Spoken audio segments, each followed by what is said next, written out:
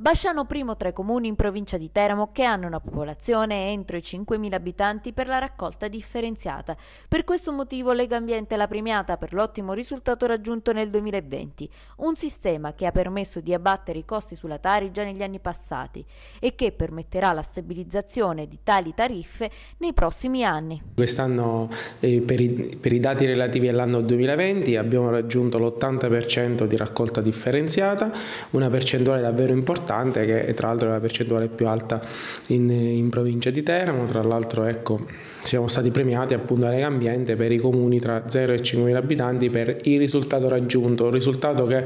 eh, è stato reso possibile solo grazie ad un grande lavoro da parte dell'amministrazione degli uffici nella formulazione del bando e, e, di chi tutti i giorni lavora appunto per la raccolta differenziata a Basciano, eh, un risultato che ci inorgoglisce. Eh, nel 2019 appunto abbiamo avviato un nuovo sistema di raccolta, tra l'altro a tariffa puntuale, eh, introducendo questo nuovo metodo di, tariffazione della Tari. È un, appunto un, un risultato che ci rende davvero felici e orgogliosi per l'ambiente perché l'ambiente è così riusciamo a conferire una minima quantità di indifferenziati in discarica, ma che permette anche di avere notevoli risparmi sulla tariffa che i cittadini, i cittadini pagano, una tariffa che negli ultimi anni è scesa in maniera importante, appunto grazie a questo nuovo sistema di raccolta e che contiamo negli anni prossimi di migliorare ancora. Uno sforzo compiuto da tutta la popolazione che ha permesso di raggiungere l'80% della raccolta differenziata nel comune,